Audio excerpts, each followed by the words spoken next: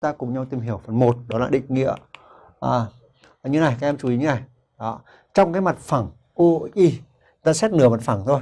À, nửa trên đúng không nào? À, với góc alpha. À, alpha là góc có giá trị từ 0 đến 180 độ. À, góc alpha đây. Thì à, em nhìn đây này.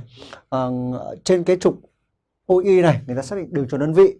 Các em chú ý à, cái thứ nhất chúng ta có một cái khái niệm là đường tròn đơn vị. Đường tròn đơn vị. Đường tròn đơn vị là đường tròn mà có tâm là góc tọa độ và bán kính bằng một. Đường tròn đơn vị đường tròn có tâm O và bán kính R bằng một.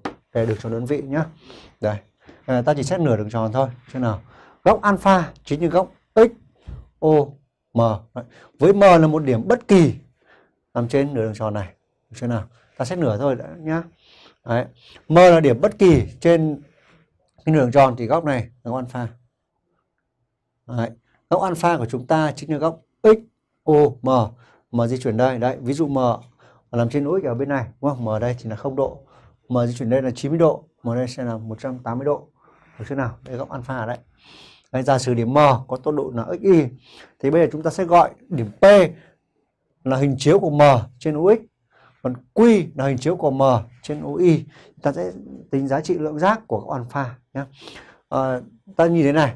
À, ví dụ ta để ý trường hợp này nhé thì em nhìn cái tam giác OPM là tam giác vuông.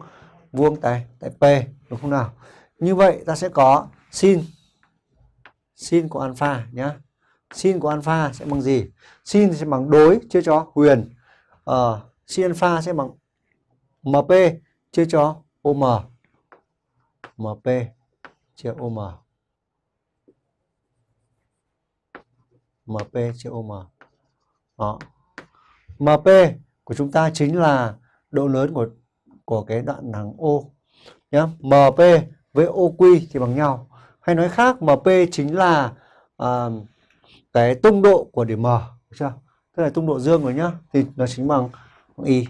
Đó công độ M chính là y. Và còn đâu? Uh, cốt của alpha. Cốt alpha bằng kề chia cho huyền. Cốt bằng kề cho huyền thì cốt alpha bằng OP chia cho OM. OP